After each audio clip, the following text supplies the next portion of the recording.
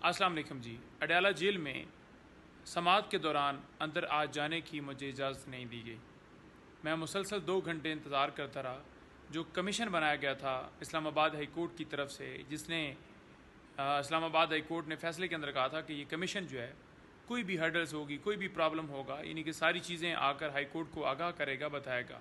और Islamabad high court ने अपने फैसले के अंदर ये कहा कि 10 मिनट से ज़्यादा जो है आपने इनको गेट पर खड़े नहीं रखना। गाड़ी 10 मिनट के अंदर चेक हो जाती है, फिर उसके बाद जो वकला हैं, उनको अंदर जाने देना है। जो वकला जिनके वकालतनामे हैं, वो अपने साथ तीन एसोसिएट भी ले जा सकते हैं। लेकिन चार से पाँच लोगों को अंदर जाने की इजाज़त दी गई। मेरा अपना वकालतनामा है और मैं साथ तीन जो एसोसिएट हैं, वो तो ले जाना दूर की बात। मुझे भी अंदर नहीं जाने दिया गया।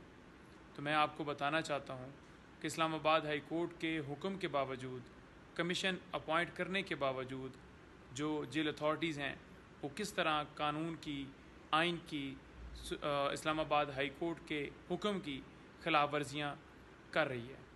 तो इसके अंदर मसला क्या है? मसला सिर्फ़ और सिर्फ़ ये है कि प्रेस टॉक जो है, मीडिया जो टॉक है, वो बड़ी दुखती है, क्योंकि खान साहब जब मीडिया से बात करते हैं तो मैं जब जाता हूँ तो उनके साथ खड़ा होता हूँ और फिर आपको पता है कि मैं आकर सारे पॉइंट्स देता हूँ, आकर बात करता हूँ। अदरवाइज़ मेरा वकालतनामा है।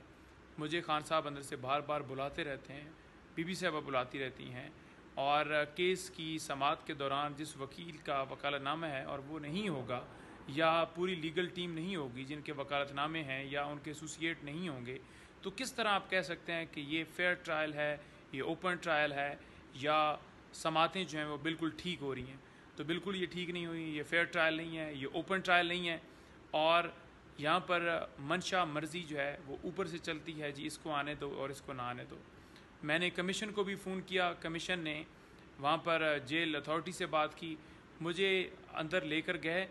उस वक्त लेकर गए जब समात ही ख़त्म हो चुकी थी। बारह, साढ़े बारह का टाइम था जब मुझे अंदर लेकर गए। कहा गया आप आ जाएँ आ जाएँ। जब कमरे के अंदर गए, अदालत के अंदर गए तो उस वक्त खान साहब जा चुके थे। फिर मुझे कहा गया कि आपकी मुलाकात, फिर दो बजे बुखला की है उसमें मुलाकात हो जाती है। तो मैं बैठा रहा।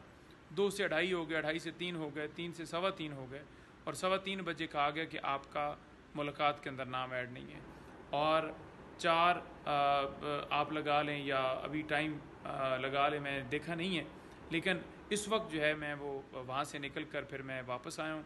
और अभी मैंने आकर यहाँ पर हैश पर आकर अपना पैगाम आपके सामने रखा है कि इस तरह से ये ट्रायल जारी है। सिर्फ़ और सिर्फ़ क्या है जी?